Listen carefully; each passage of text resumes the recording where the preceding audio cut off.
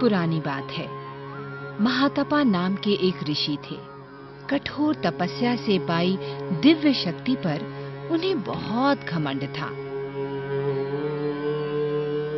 एक बार जब ऋषि गहन तपस्या में लीन बैठे थे,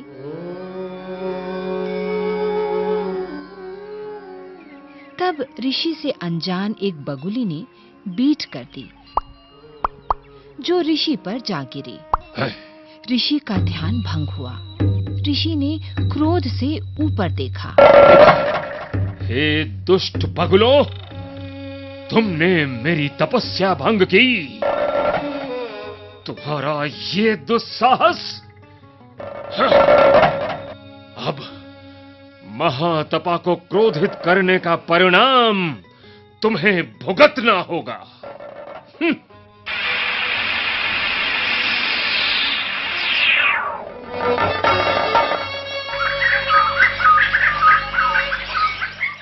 पेड़ पर बैठे दूसरे पक्षी भी ये घटना देखकर उड़ गए। इस शक्ति प्रदर्शन के बाद अब महातपा का क्रोध शांत हो चुका था। वो फिर से तपस्या में लीन हो गए।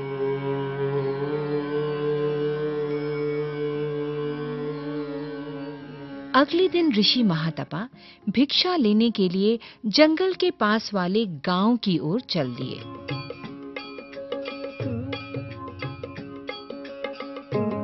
भिक्षान्न देहि। भिक्षान्न देहि।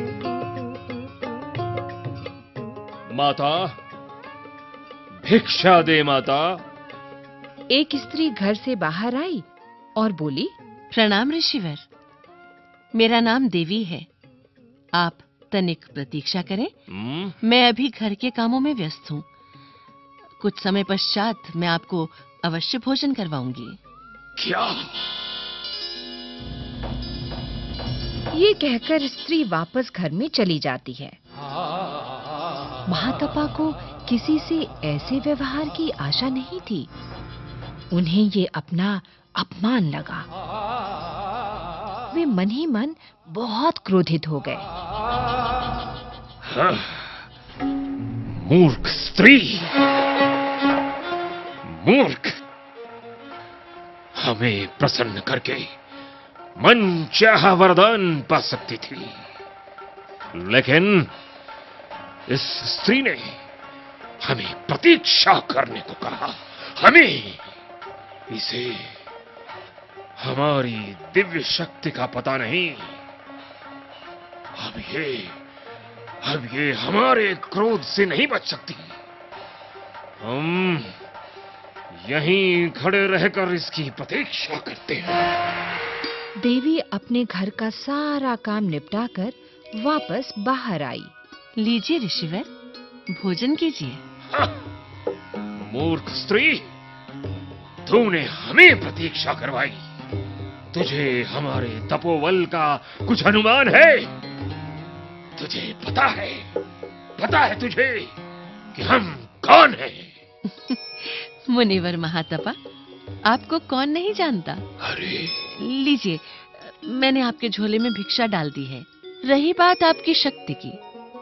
तो मुनिवर मैं कोई असहाय जंगल की बगुली नहीं जिसे आप डरा सकें या भस्म कर सकें? देवी। और मुनिवर मैंने तो सुना है भिक्षुक बहुत कोमल हृदय के होते हैं। किंतु देवी ये घटना तो जंगल में हुई थी। तुम्हें कैसे पता चला? ये तो धर्म व्याधि बता सकते हैं। धर्म व्याध? जी मुनिवर धर्म व्याध। वो गाँव के बाज़ार में अपनी दुकान में मिलेंगे। दुकान में? जी ऋषिवर वो बहुत ही भले और कोमल हृदय हैं। आप उनसे मिलकर अवश्य प्रसन्न होंगे। अच्छा। हाँ। हम अवश्य ही धर्मव्याध से मिलेंगे। जी। प्रणाम ऋषिवर। आयुष्मती भव। आयुष्मती भव। ऋषि धर्मव्याध से मिलने गाँव के बाज़ार गए तो पता चला धर्मव्याध एक मांस बेचने वाला व्यापारी है। धर्मव्याध मांस विक्रेता और उसमें दिव्य शक्ति। इसे कैसे पता चला कि हमने जंगल में बगुलों को भस्म किया है? हम्म धर्मव्याध से ही पूछते हैं। अरे ऋषिवर, आप यहाँ बस एक जिज्ञासा यहाँ खींच लाई। कहिए मुनिवर महातपा। तुम्हें कैसे पता चला कि हम ही महातपा हैं? मुनिवर मुझे तो ये भी पता है कि आपने अपनी क्रोध दृष्टि से दो बगुलों को भस्म कर दिया था। अरे! समझ गया। मुनिवर आपको देवी ने यहाँ भेजा है। धर्मव्याध प्रणाम। अब ऋषि को एकाएक ये समझ आ गया कि पूरी ईमानदारी और लगन से अपना काम करने वालों का सामान्य ज्ञान किसी एकांतवासी ऋषि से ज़्यादा अच्छा होता है।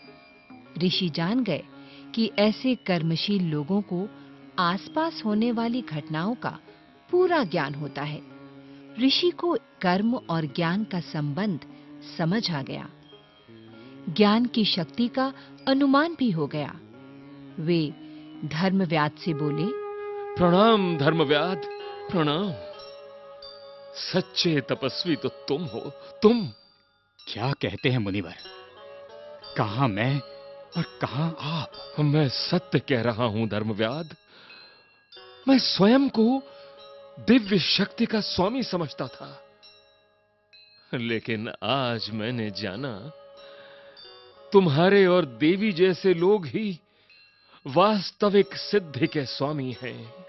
मुनिवर। कर्म करने वाला सबसे बड़ा होता है।